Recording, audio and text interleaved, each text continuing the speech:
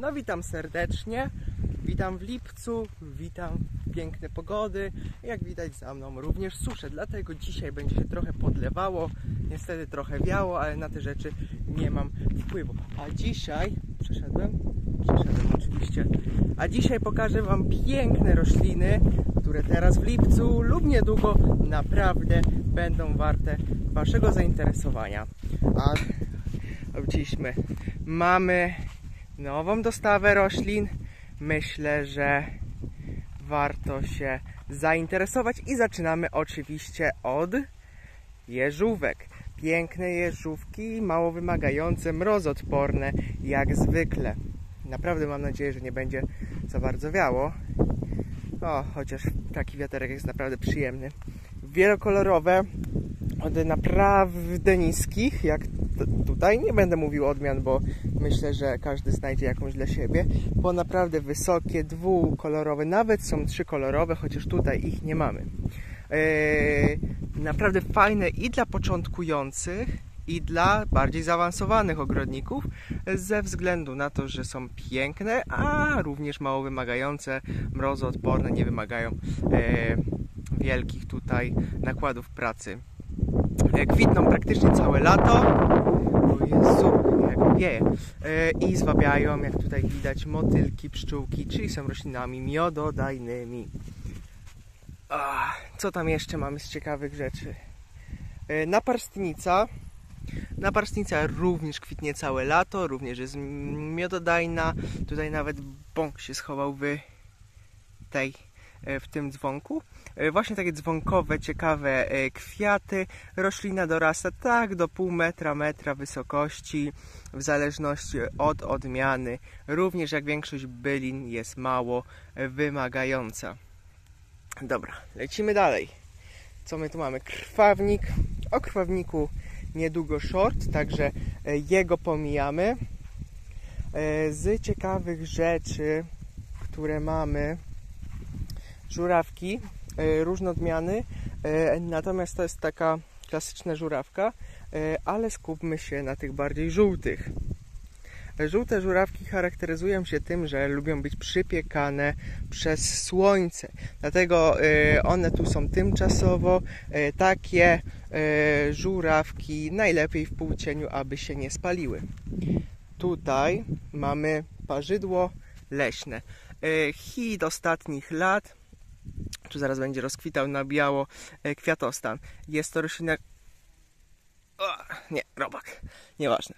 E, jest to roślina, która rozkwita e, właśnie teraz, w lipcu, sierpniu. Ma takie charakterystyczne, poszarpane liście. Świetnie czuje się w cieniu, w glebach takich lekko podmokłych. Mm, to właśnie tutaj e, parzydło leśne, jak sama nazwa wskazuje, lubi. Dlatego zapewnijmy takie leśne e, klimaty. Szałwia. E, szałwi nie trzeba przedstawiać, naprawdę piękne, piękne byliny i przeskoczymy, ponieważ to nie jest jedyna odmiana, jaką posiadamy, a jeszcze tutaj taką. Z ciekawostek, czy wiecie co to jest? Jest to oregano. E, po polsku tak naprawdę lebiotka. E, jest to bylina, którą z łatwością będziecie mogli, mam nadzieję, że żadna pszczoła mnie nie urządli, e, którą możecie hodować w doniczce. Pięknie pachnie. I normalnie w kuchni sobie trzymać. To jest macierzanka. Również z tego co wiem może się przydać w kuchni, ale szczerze mówiąc nie należy do osób, które przepadają za gotowaniem, więc się lepiej może o tym nie wypowiadam. E, przejdźmy do drugiej mojej ulubionej rośliny w tym miejscu. O pierwszej będzie później, czyli orlik e, Early Bird Yellow Red. Ciężka nazwa, ale nazwijmy ją po prostu Yellow Red. Jest to zwykły orlik. Dobrze, że zaraz tu będzie się podlewać, bo naprawdę już sucho się zapowiadają 30 stopni upału. E, o takich ciekawych jak na orlika kwiatach. Nie są to e, takie typowe orlikowe kwiaty. Są tak bardziej pełne, e, dwukolorowe, w sumie trzykolorowe, bo mamy tu biały, różowy i żółty, żółte pręciki. Naprawdę ciekawie to wygląda. Równie ciekawie wygląda jak dopiero się będą tu rozwijać. Mi to przypomina trochę smoczy owoc, jak są takie tutaj jeszcze nie rozkwitnięte. A czemu musisz wiać akurat jak nagrywam? Jak chcę ludziom pokazać piękne roślinki. Roślina, która tutaj mi się najbardziej podoba chyba, jest to te bielutkie kwiatuszki. Jest to roślina, którą naprawdę ciężko klasyfikować, nie znając jej nazwy. No bo co to może być jakaś gipsówka, coś takiego? Otóż nie. Jest to krwawnik. Ten sam krwawnik, co tam. Poza, tym, że jest to krwawnik pospolity, a ta piękna bylina to e, krwawnik dmuchawiec o takich ciekawych e, kwiatach. Naprawdę niezwykle ciekawa ciekawa od y, roślina. Już kombinuję, gdzie ją sobie posadzić. Tutaj mamy tawułkę Deutschland, chyba najpopularniejsza odmiana biała w Polsce. Ciekawe, długie kwiaty i dosyć wysoka, bo w tym momencie ma już grubo ponad 1,5 metra wysokości. Tutaj przechodząc do tawułek, tawułka Vision in Pink, bardzo ciekawe również E, kwiatostany. I przechodzimy do innych krwawników. E, od fioletowych poprzez różowo taki kolor. No one teraz e, najmocniej kwitną. Troszeczkę później będzie z nimi lepiej. A tutaj piękny biały zwykły krwawnik. A to jest tak zwana lawenda ruska czyli perowskia o której mamy również inny materiał. A obok naszych tutaj bylin y, rozchodniczki, czyli rośliny, które mogą żyć długo bez podlewania, mamy tutaj budlejki. Budlejki fioletowe, bardziej różowe. Tam z przodu jest jeszcze czerwona i w jednym miejscu jest jeszcze biała. Yy, naprawdę jest tego sporo. E, Byliny mają to do siebie, że kwitną naprawdę długo, naprawdę ochoczo i są mało wymagające.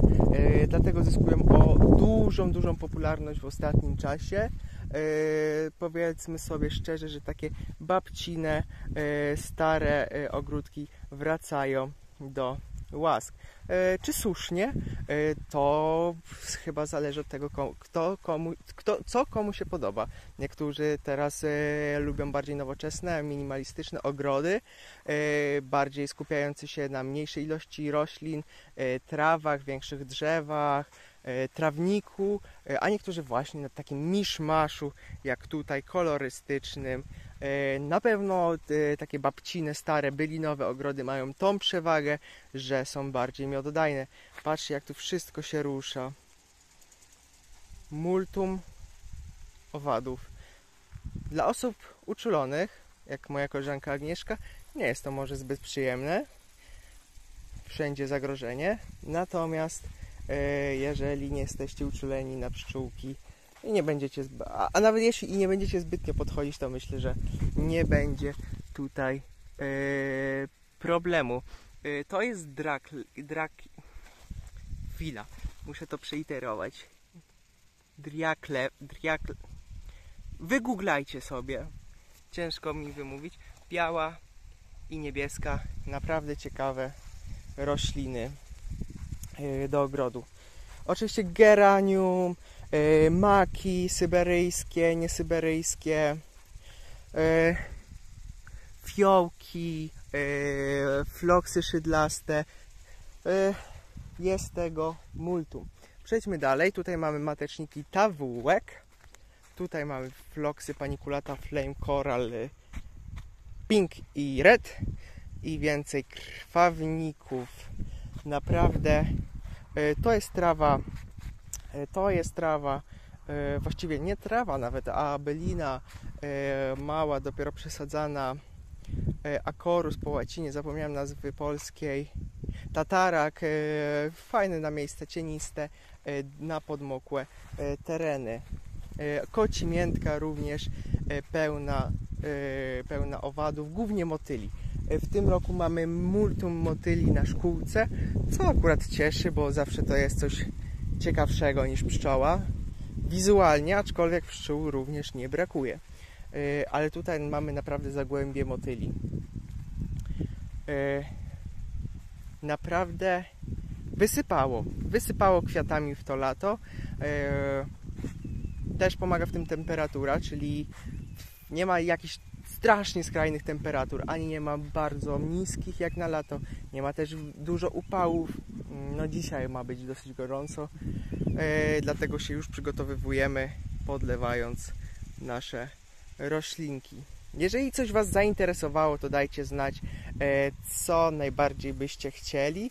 E, Czy na przykład krwawniki Wam się podobały, e, może jeżówki, tawułki, e, a może e, jak, jak mnie najbardziej zachwycił ten e, krwawnik dmuchawiec. E, Dajcie znać i widzimy się w następnym e, odcinku. Wiem, że Wam się materiały podobają, takie ogólne, zbiorcze, mówiące o kilku fajnie wyglądających w tej chwili roślinach. Także dajcie znać, czy nadal Wam się takie filmy podobają, dając kciuk w górę, subskrybując kanał. I mam nadzieję, że do zobaczenia wkrótce. E, Mam nadzieję, że w trochę mniej wietrzny dzień. Do zobaczenia.